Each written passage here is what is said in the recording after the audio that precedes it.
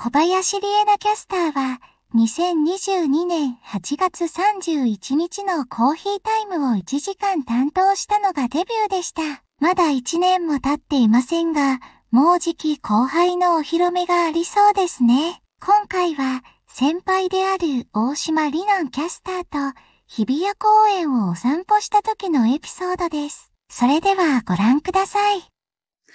スタジオの外は先ほどね、クラストークでもまだまだ曇り空ということで、ね、曇ってますけど元気ですよ。後ろもね、チューリップになって春らしさもありまして、先ほどの、あ、ゆいさんと一緒に見ていたネモフィラ、菜の花もとっても綺麗でした。まだね、桜を見てから、あ、一回、大島リナンキャスターと日比谷公園をお散歩しまして、初めて行きました。日比谷公園、東京の 東京の そうなんです。あの、日比谷のエリアには行ったことがあったんですよ。あの、あそこ周辺って劇場とかも多いので、な演劇とかミュージカルとかを見に行った機会があったんですけれども、まさかあんな奥に、あの、グリーンが繰り広げられているとは つゆ知らずそうだったんですよ。すごくね、楽しくって、マップで見たら大きくって、あ、こう、東京のオアシスってやっぱ突如現れるんだなっていう。ああ そうなんですよ。デートしました。この日まですっごい曇ってたんですよ。で、ちょっと雨も落ちてきたから帰ろっかって言って、退散したんですけれども、そうなんですよ。楽しい、はい、一日でしたね。もうでも、やはり、リノさんシティガールなので、東京のこと何でも聞いたらわかるから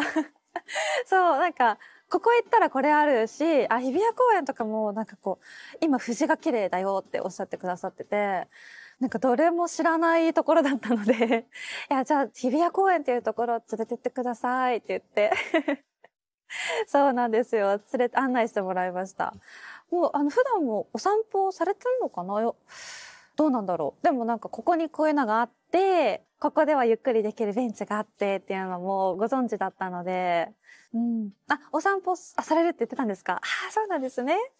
いいですね。お散歩したいなうん、なんかこう、鳥がいるなとか、あ、やっぱりこの後雨降るのかなとかいう、なんでもないことを話しながらお散歩できるのがすごくね、有意義で楽しかったです。今月ね、実は、あの、先輩キャスターさんたちと一緒に過ごす時間が多くって そうなんですよ。なので、すごく楽しい1ヶ月です 4月もまだね、あと残り1週間ほどあるんですけれども。で、あともう少ししたら私は先輩になるんですよ だから、そう、あの、